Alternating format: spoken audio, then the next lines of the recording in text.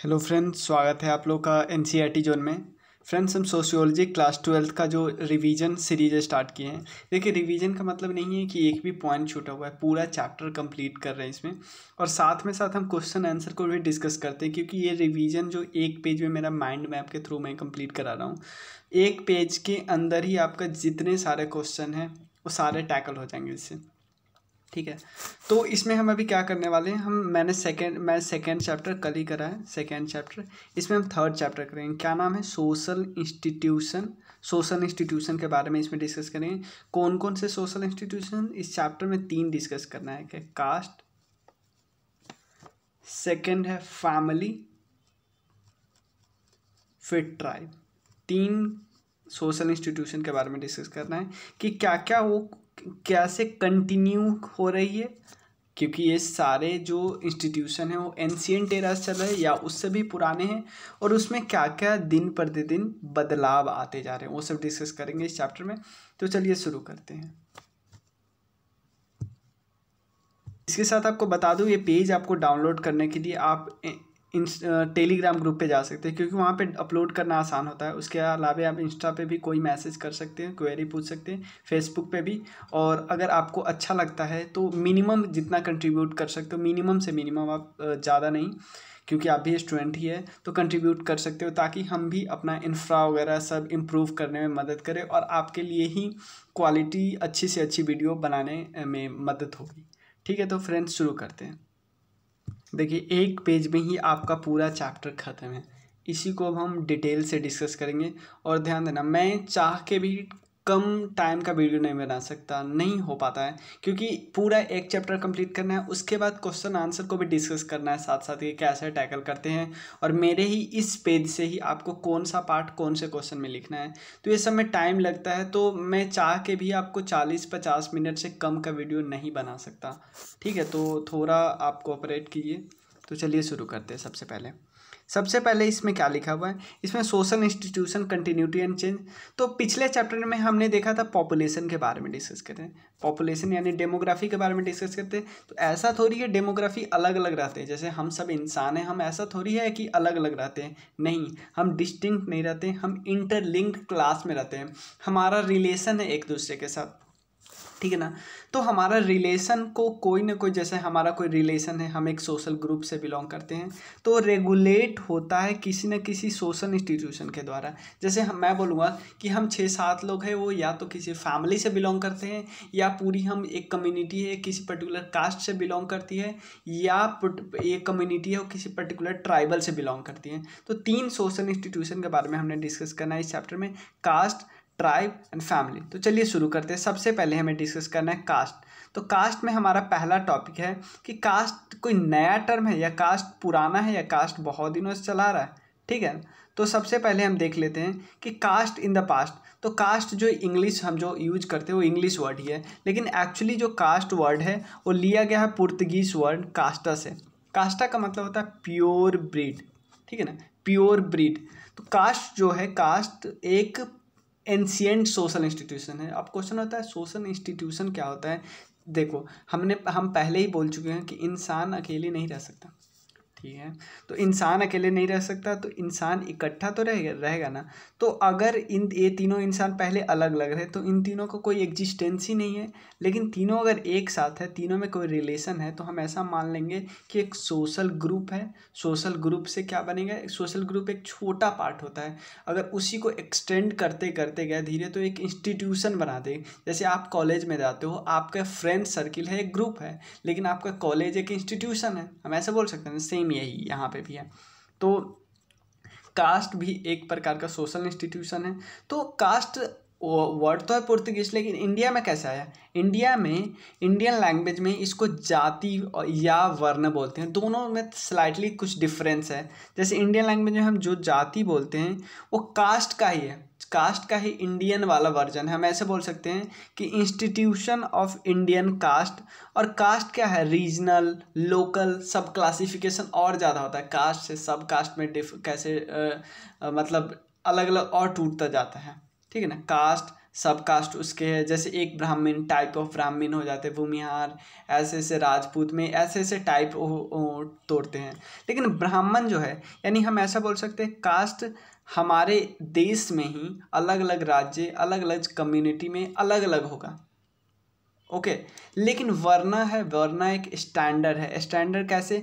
जब वरना हम या तो किसके बेसिस पे करते हैं, या तो हम कलर के बेसिस पे बोल देते हैं, या कहीं कहीं पे ऑक्यूपेशन के बेसिस पे बोलते हैं।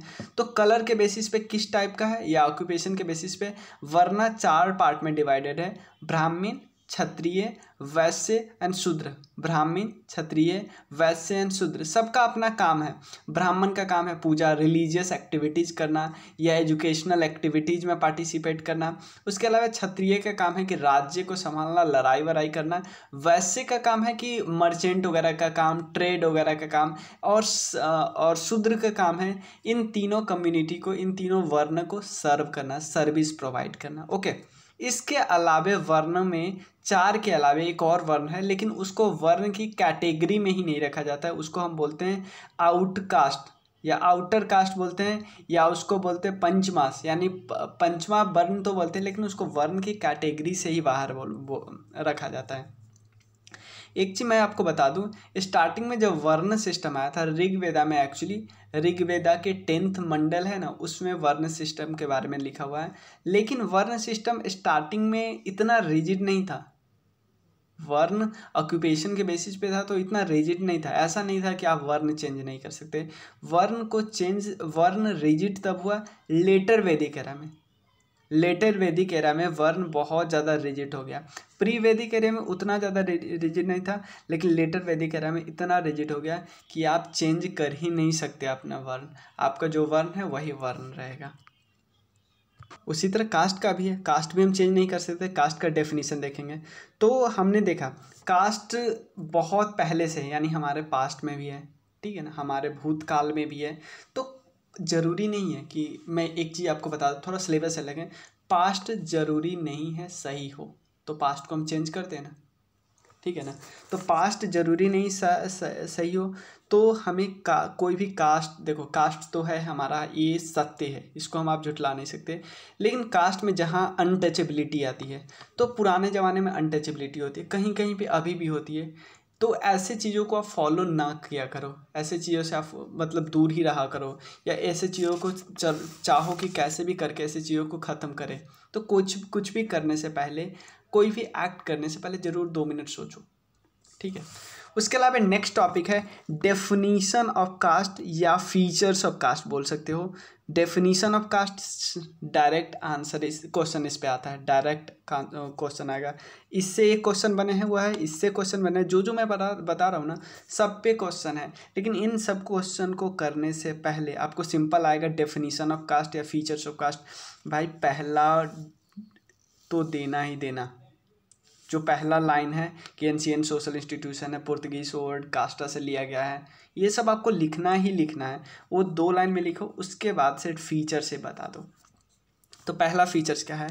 कि जो कास्ट है, ध्यान देना, जो कास्ट है, वो एक स्क्राइब्ड स्टेटस स्क्राइब स्टेटस का मतलब होता है, आप चेंज नहीं कर सकते, आपको जन्म के साथ ही मिलता है। आप जन्म के साथ ही ब्राह्मण, जन्म के साथ ही राजपूत, आप जन्म के साथ ही लोअर कास्ट जो भी हो, वो आप जन्म के साथ ही मिल जाता है। मतलब इसको आप चेंज नहीं कर सकते। ठीक है? नेक्स्ट है इंडोगैमस इंडोगैमस मैरिज जो होता है मैरिज एक टाइप का सोशल इंस्टीट्यूशन है, ये आपको इंडोगैमस ही होते हैं। मतलब अपनी जाति में ही, अपने कास्ट में ही शादी हो, होना चाहिए। मतलब मेजोरिटी अभी भी इंडिया में का, इंडोगैमस ही होती है। नेक्स्ट है स्पेसिफिक फ़ूड शेयरिंग एग्ज़ाम्पल लेते हैं कि अपर कास्ट और लोअर कास्ट ये आपस में जो जो शूद्र कम्युनिटी और ब्राह्मण कम्युनिटी आपस में फ़ूड शेयर नहीं करते। ब्राह्मण का तो फ़ूड खा लेते हैं शूद्र, लेकिन शूद्र कम्युनिटी के घर पे जाके ब्राह्मण नहीं खाते थे। अभी बहुत कुछ चेंज हुआ है। देखो तो जो भी हम बात करते हो, ज़रूरी नहीं है कि आप रिलेट कर पाओ अभी, क्योंकि अभी बहुत ज़्यादा चेंजेज हुआ है। नेक्स्ट है हरारकी और रैंक ऑब्वियसली कास्ट के हिसाब से बटा हुआ है। अभी भी रूरल एरिया में आप आप बहुत आसानी से देख सकते हो कि कैसे हरारकी में बटा हुआ है। सबसे पहले ब्राह्मण है। कास्ट के हिसाब से हरारकी में बटा हुआ है। नीचे वाला कास्ट अभी भी सर्विस प्रोवाइड कर रहा है। ऊपर वाले कास्ट को ऐसा। ठीक है सेगमेंटेड ऑर्गेनाइज सेगमेंटेड ऑर्गेनाइजेशन है कि एक कास्ट दूसरे कास्ट से बिल्कुल सेगमेंटेड है। आप अलग हो हम अलग है ऐसे ऐसे बातें करते हैं। और कास्ट में भी टूटा हुआ है। कास्ट में भी सब कास्ट है। जैसे मान लो का, कास्ट में जैसे मान लो एग्ज़ाम्पल लेते हैं, एक ब्राह्मण ही कास्ट है। ब्राह्मण कास्ट में किसी के पास इकोनॉमिक पावर भी आ गया पॉलिटिकल पावर भी आ गया तो अपने आप को और ज़्यादा ऊपर समझने लगे। और ब्राह्मण में ही कुछ ऐसे लोग हैं जिसके पास पॉलिटिकल इकोनॉमिक पावर नहीं है तो अपने आप को थोड़ा नीचे समझते और इस पर्टिकुलर ब्राह्मण के रेस्पेक्ट में। तो आप देख रहे हो, एक कास्ट था, उसमें आप सब कास्ट छोटा छोटा टुकड़ा कर रहे हो। उसके अलावा ऑक्यूपेशन ऑक्यूपेशन किस बेसिस पे डिवाइड होता था कि आपका वर्ण कौन सा है, जाति कौन सा है? ठीक है तो आपके फीचर्स आप लिख सकते हो आराम से।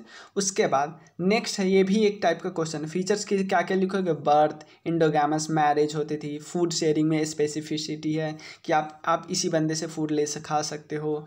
हरारकी और रैंकिंग में डिवाइड है कास्ट में में हिसाब से। सेगमेंटेड है सेगमेंटेड का मतलब टू अलग अलग बटा हुआ है। और आपका काम आपका काम हरारकी में बटा हुआ है।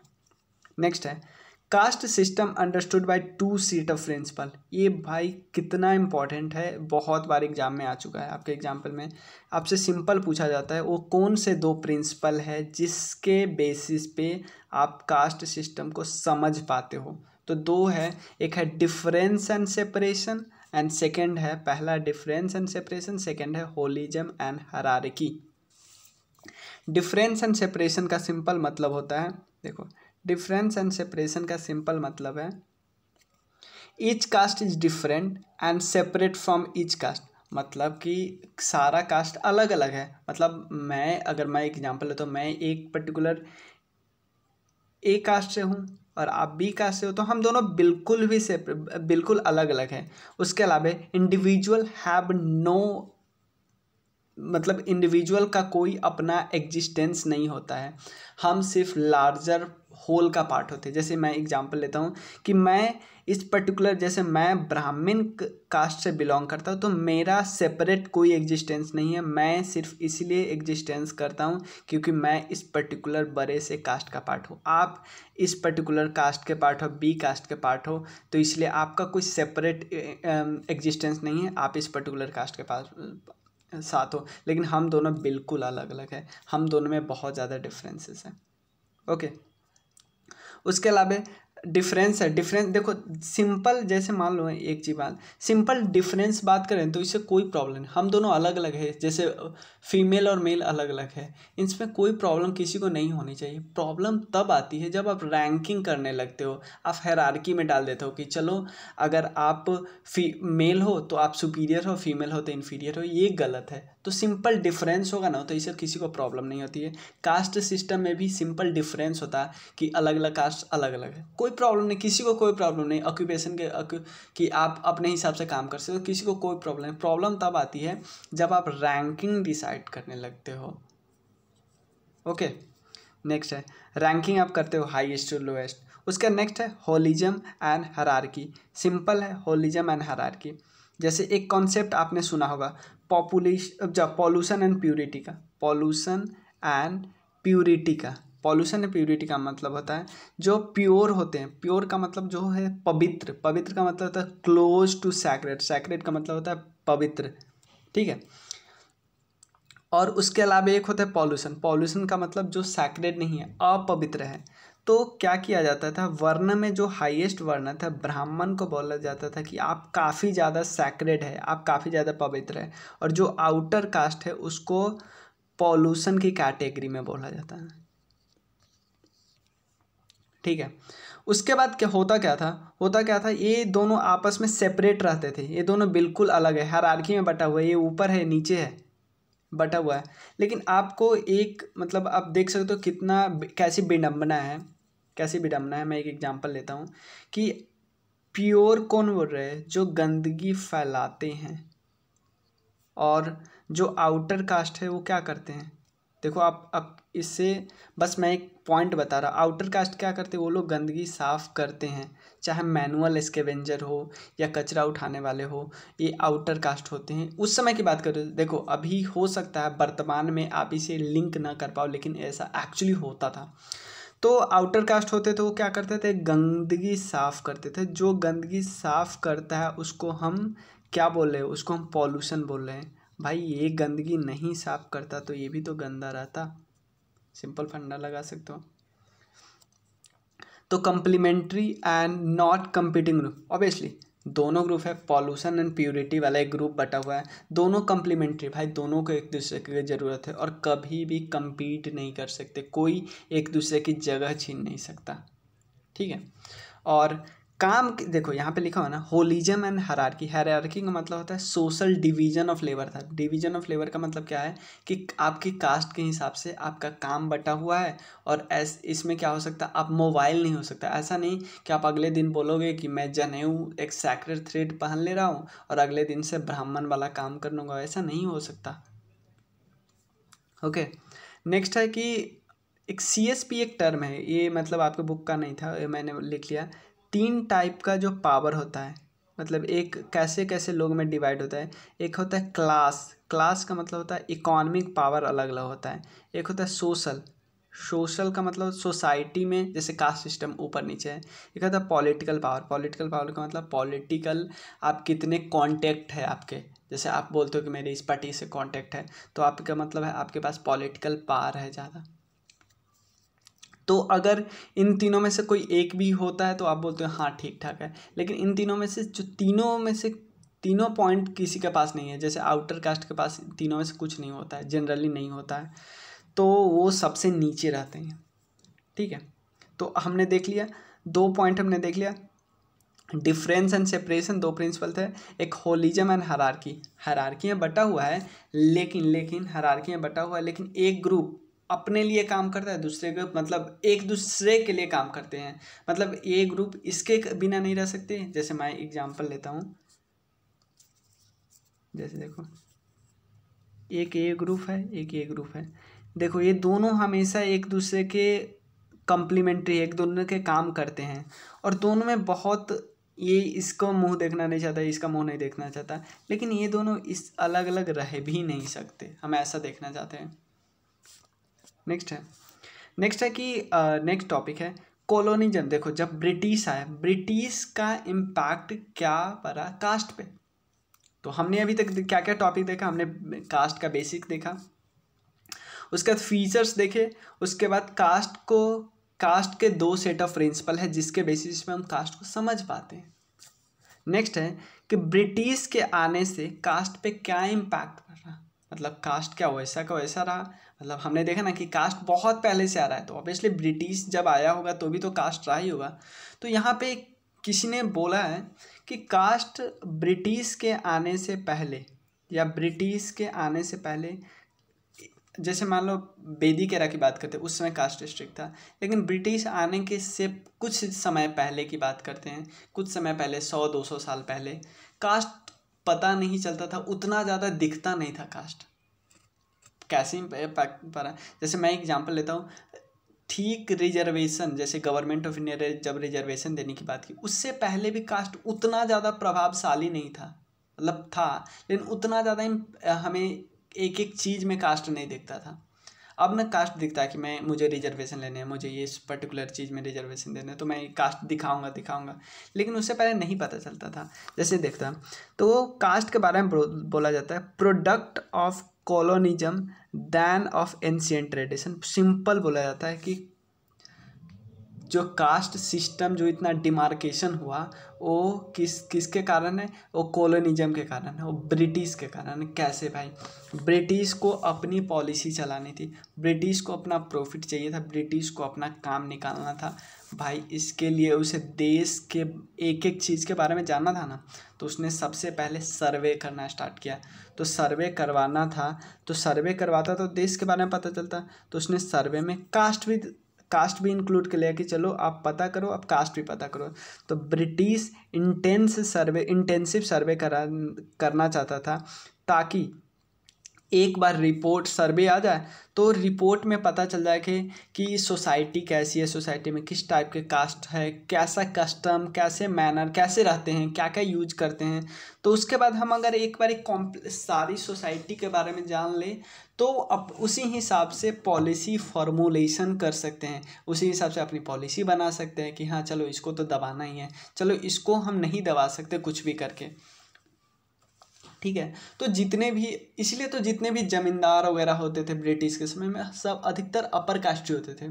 अब बता दो rare rare of the rarest case होगा, ही होगा कि शूद्र कम्युनिटी जमींदार हो। बहुत बहुत बहुत रेयर केस होगा। या पता नहीं होगा भी नहीं, मैं ठीक है। तो सर्वे की बात करते हैं। सबसे पहले सर्वे की बात की गई थी 1860 में, लेकिन सबसे पहले सर्वे एक्चुअली हुआ था 1872 में। बात की गई थी एटीन सिक्सटी टू में सिक्सटी में और एटीन सेवेंटीन लेकिन एटीन एटी वन के बाद, एटीन एटी वन के बाद रेगुलर सर्वे होने लगा हर दस साल पे।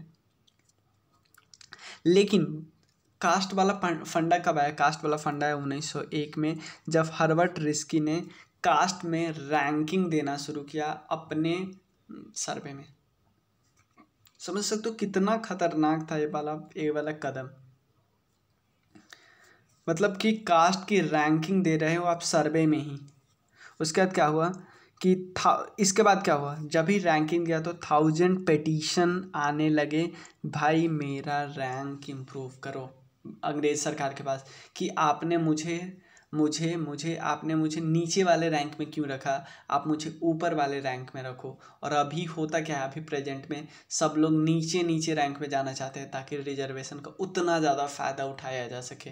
अभी किसी एस टी एस सी को आप ओ बी सी में डाल दो, वो इतना ज़्यादा हंगामा करेगा पेटिशन डाल डाल के। उस समय क्या होता था? उल्टा होता था। उस समय बोलता था कि मुझे मुझे आप ऊपर वाले रैंक में इम्प्रूव करो, क्योंकि उस समय ऊपर वाले रैंक में रहने से ज़्यादा फ़ायदा था एज कंपेयर टू नीचे वाले रैंक।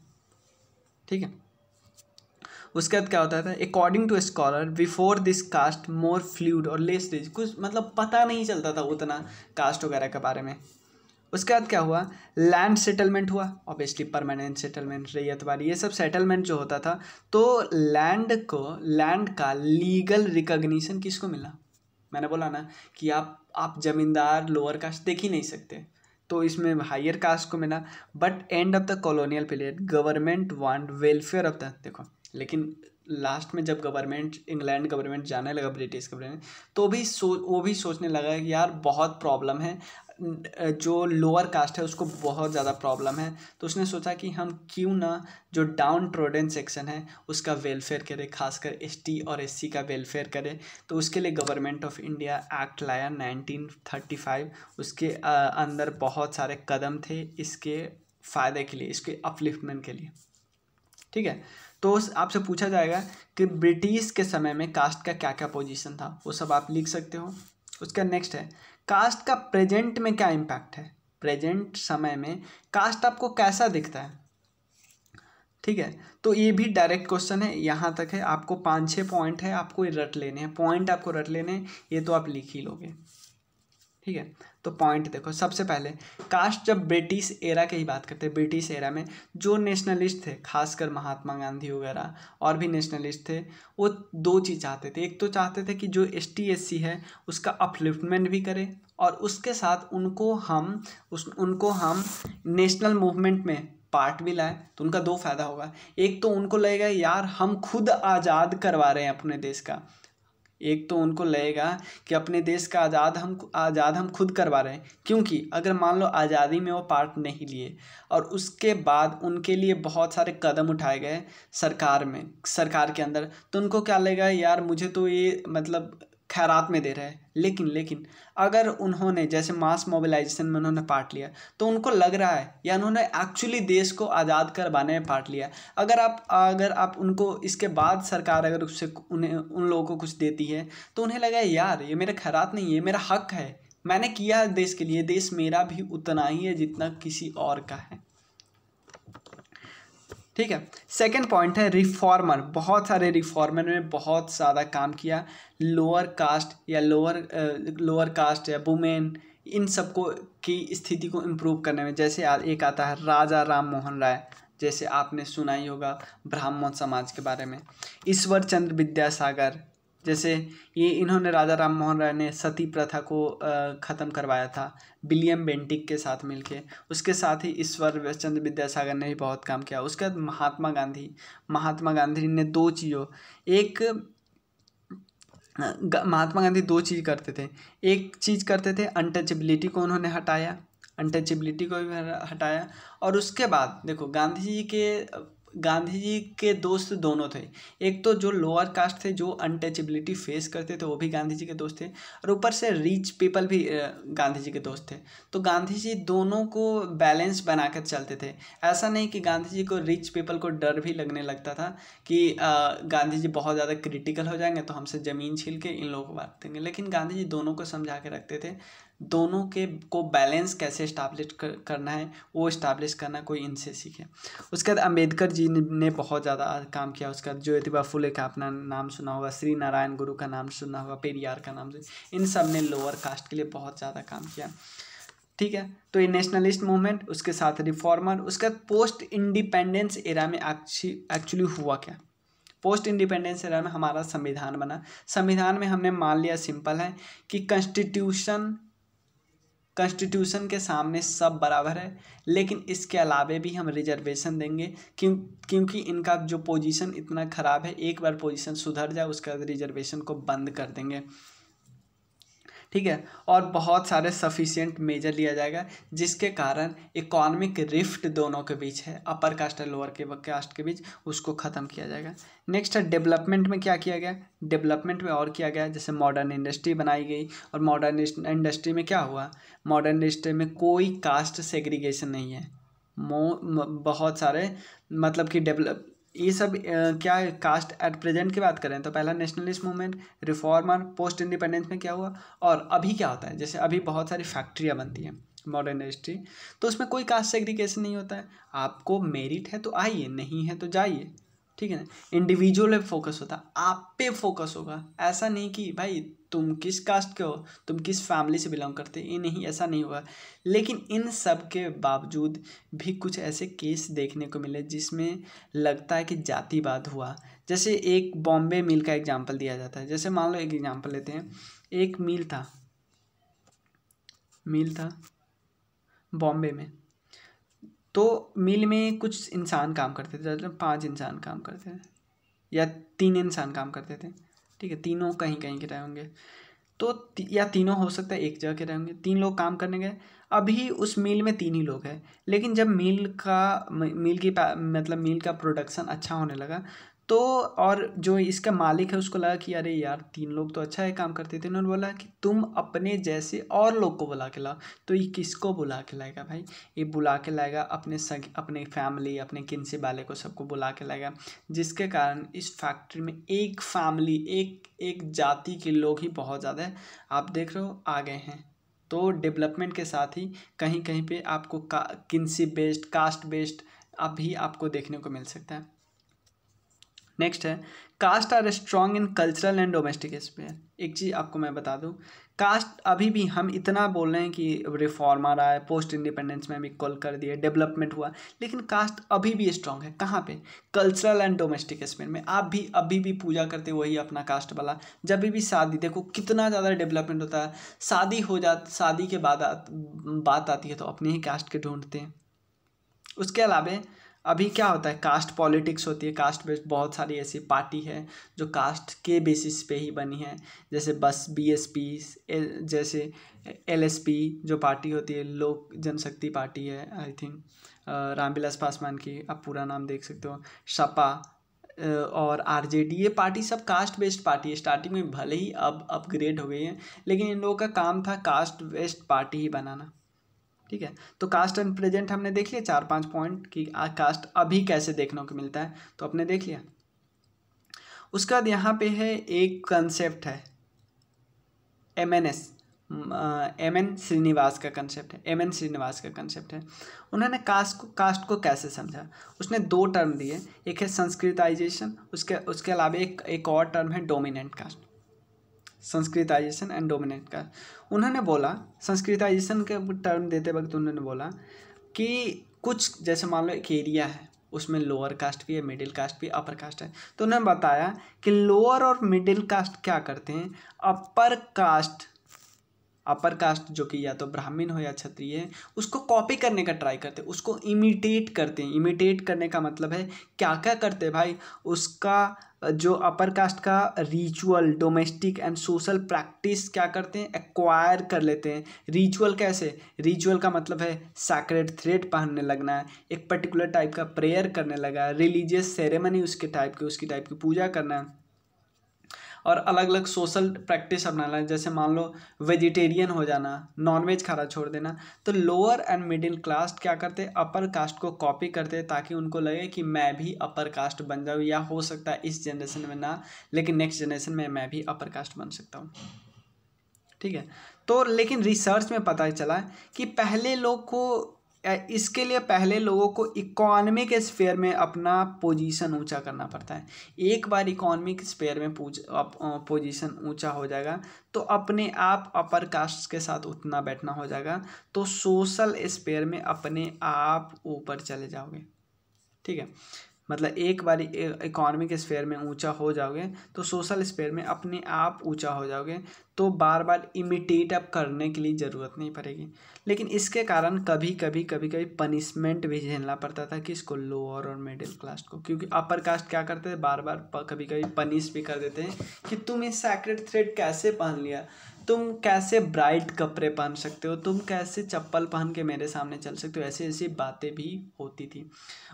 उसके अलावा उन्होंने एक टर्म दिया कन डोमिनेंट कास्ट डोमिनेंट कास्ट कौन, किस कास्ट को बोलते हैं? डोमिनेंट कास्ट बोलते हैं कि ऐसा कास्ट जिसकी पॉपुलेशन बहुत ज़्यादा हो और लैंड राइट पे उसका अधिकार हो लैंड राइट हो उसके पास। तो ये क्या क्या बोल रहे थे? जैसे ये बोल रहे थे कि अपर कास्ट क्या होता है? अपर कास्ट तो एबसेंटी लैंड क्योंकि लैंडलॉर्ड तो जनरली अपर कास्ट हुआ करते थे। तो लैंडलॉर्ड क्या होते थे? एक बार वो अबसेंटी हो, क्योंकि वो देखो ज़मींदार और लैंडलॉर्ड ज़्यादातर गाँव में नहीं होते थे, वो शहर में होते थे। तो वो तो चले जाते थे शहर में, लेकिन अपने मैनेज करने के लिए कुछ इंटरमीडिएट कास्ट को कुछ छोड़ दिया करते थे। तो मैनेज करते थे। लैंड रिफॉर्म जब ही जैसे हुआ तो ये लैंड राइट बहुत ज़्यादा इनको मिल गया। तो इनकी इकोनॉमिक पावर इंक्रीज हो गई। इकोनॉमिक पावर जैसे इनकी हुई थी रिलीजियस पॉलिटिक्स में आ गए, क्योंकि इनका पॉपुलेशन तो ऐसे भी ज़्यादा था इस पर्टिकुलर कास्ट को, जैसे यादव कम्युनिटी यूपी बिहार में, जाट कम्युनिटी राजस्थान में। तो ऐसे कम्युनिटी का, देखो पॉपुलेशन ज़्यादा था, एक जैसे लैंड राइट मिला लैंड रिफॉर्म्स हुआ इकोनॉमिक पावर भी इनके पास हो गया तो इन्होंने रीजनल पॉलिटिक्स में अपने आप दबदबा कायम कर लिया, जिसके कारण जिसके कारण इनको डोमिनेंट कास्ट के कैटेगरी में शामिल कर लिया गया। तो ये डोमिनेंट कास्ट इनको बोलते हैं एम एन श्रीनिवास तो डोमिनेंट कास्ट को भी कॉपी करते हैं कभी कभी लोअर और मिडिल कास्ट नेक्स्ट टॉपिक है caste change in contemporary period मतलब कास्ट में क्या क्या चेंज आता है कंटेम्प्रेरी पीरियड में कैसे कैसे क्या क्या चेंज आए हैं, उसके बारे में डिस्कस करेंगे। तो दो चीज़ हम देख लेते हैं कि अपर कास्ट और एस टी एस सी दोनों के लिए कास्ट का अलग अलग मतलब है। जैसे मैं एक एग्जांपल लेता हूँ। जैसे मान ली, बात लेते हैं अपर कास्ट की बात करते हैं। तो अपर कास्ट को अपर कास्ट को कास्ट दिखता ही नहीं है। कैसे भाई? कैसे नहीं दिखता है? देखो अपर कास्ट जैसे ही देश आज़ाद हुआ अपर कास्ट ही थे जो कुछ पढ़े लिखे थे या कुछ इकोनॉमिक पावर था तो सारे सारे इंपॉर्टेंट जॉब पे आ गए। सारे इंपॉर्टेंट जॉब पे आ गए। उनकी नेक्स्ट जन जो जनरेशन थी ऑब्वियसली नेक्स्ट जनरेशन की परवरिश अच्छी हुई थी तो भी अगले वाले जनरेशन वही सारे जॉब पे आ गए। सारे गवर्नमेंट के सारे सर्विस पे वही खुद आ गए। तो यहाँ पे इनको इनको तो लगा ही नहीं कि हमें कोई फ़ायदा हुआ है कास्ट से, क्योंकि मतलब इनडायरेक्टली इनको फ़ायदा हुआ है, लेकिन इनको पता ही नहीं चल, लग रहा था कि कोई फ़ायदा हुआ है। क्योंकि इसको मतलब हमेशा सारे जॉब पे ही जा रहे थे, कोई सीरियस कंपटीशन नहीं था लोअर का जितने जॉब थे, उतनी पॉपुलेशन थी, सब जा रहे थे। ठीक ना सेकेंड और थर्ड जनरेशन तक भी इनको कोई नुकसान नहीं हो रहा था। नुकसान नुकसान तब होता है जब लोअर कास्ट को रिजर्वेशन मिलना स्टार्ट हो जाता है। तो S T and S C और डिप्रेस्ड क्लास को इनको इनको तो बहुत दिखा देता है, क्योंकि इनको कोई एजुकेशन नहीं मिलता है, जो इनहेरिट इनके मम्मी पापा से नहीं मिलता है। कोई सोशल कैपिटल नहीं था इनको तो इनको बहुत ज़्यादा कंपटीशन फेस करना पड़ता है, लेकिन बाद में रिजर्वेशन होता है रिजर्वेशन मिलता है, जिसके कारण मतलब पॉजिटिव डिस्क्रिमिनेशन मिलता है, जिसके कारण ये थोड़ा थोड़ा मतलब कि अप, ऊपर जाते हैं। तो कास्ट तो इनके लिए बहुत ज़्यादा इम्पोर्टेंट था, लेकिन लोअर कास्ट के लिए मतलब लेकिन अपर कास्ट के लिए कोई कास्ट नहीं था। तो हम इसको बोल सकते हैं, हमारी सोसाइटी, जिसमें अपर कास्ट, कास्टलेस है, लेकिन एस टी, एस सी के लिए कास्ट बहुत ज़्यादा इंपॉर्टेंट है। ठीक है? तो हमने ये सारा मतलब कास्ट वाला सारा टॉपिक देख लिया। Caste in past definition of caste and reforms caste system colonialism के साथ caste caste at present M N S का कंसेप्ट हमने देखा। उसके बाद हमने देखा कास्ट कैसे कंटेम्प्रेरी पीरियड में चेंज हो रहा है। अब हमें देखना है ट्राइबल क्योंकि एक ही वीडियो में हमें कंप्लीट करना है। हमें ऐसे नहीं, छोड़ेंगे नहीं।